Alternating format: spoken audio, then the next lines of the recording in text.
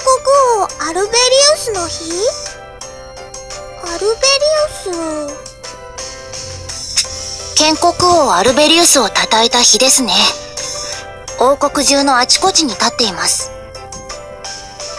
アルベリウスってずーっと昔の人だよね。何した人なの？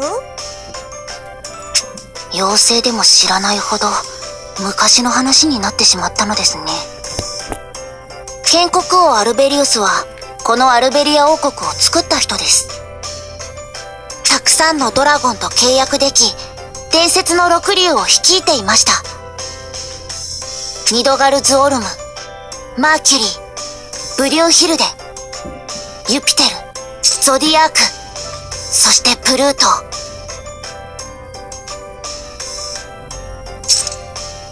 アルベリウス王はかの六竜を率いてディアネル帝国と戦ったのです。ディアネル帝国なんか名前だけでもすごいそのディアみんなから物略奪などもしたようですがこの大陸に眠るディアネル帝国は魔神崇拝の国家だったのです。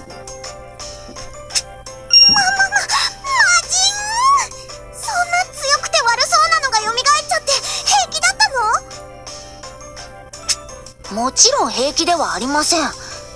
そこで立ち上がったのがアルベリウス王です。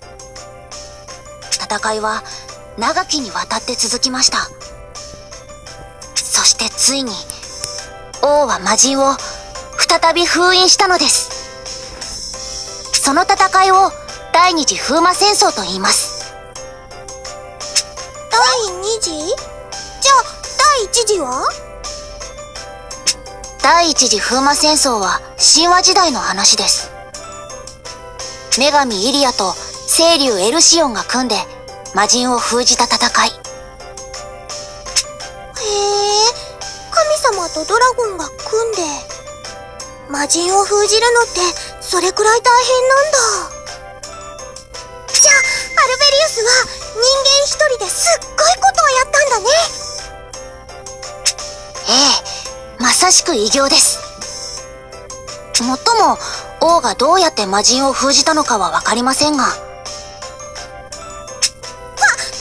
えもしかしてその封じた方法って私たちが取りに行ってる聖変と関係ある？いえ聖変は関係ないはずです。魔人を封じた場所は一つ。アルベリウス王が魔人を封じ私が知っているのは術の名前だけ。名前？血管血の棺と書いて血管という方法らしいです。血管？ううブルブルなん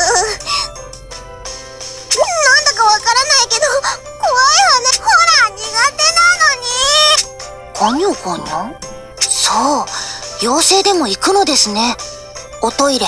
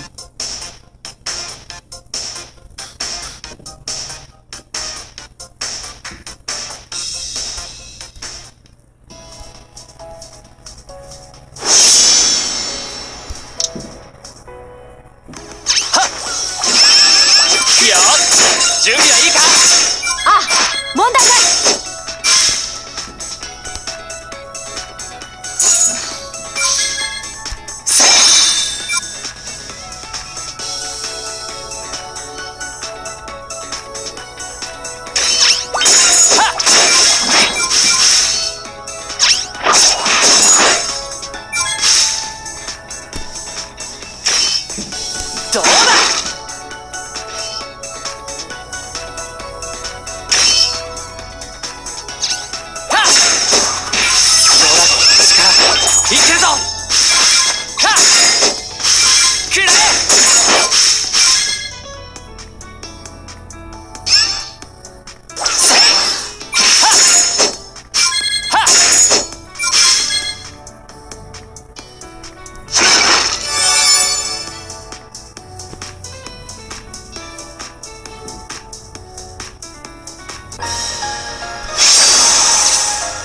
食らえ負けるわけにいかないレーシングクラああこのなりで勝利をウ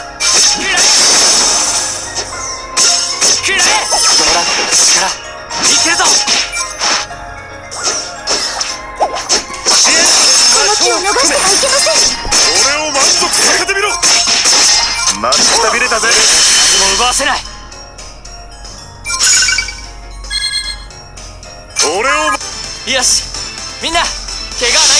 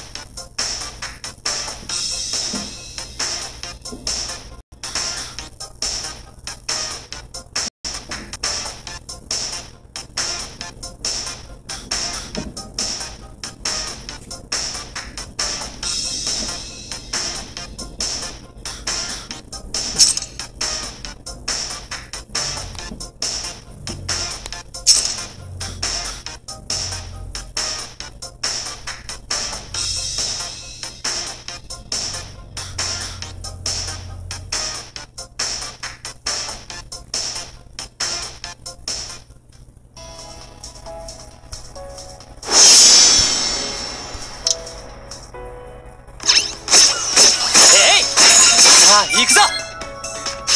ああ一番槍は私だ。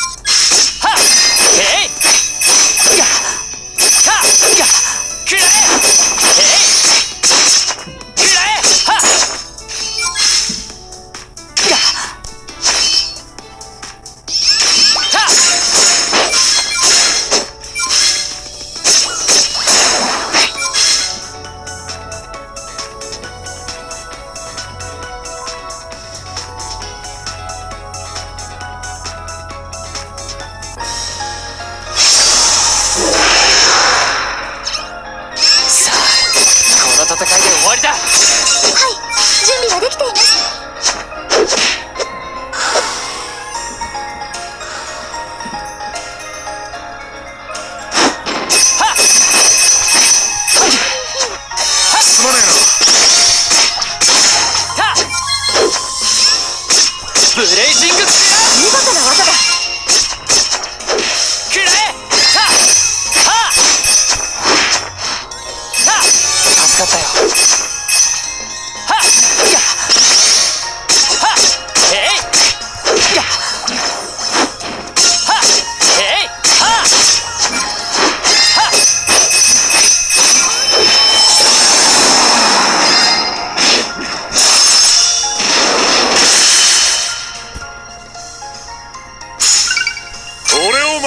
させてみろ。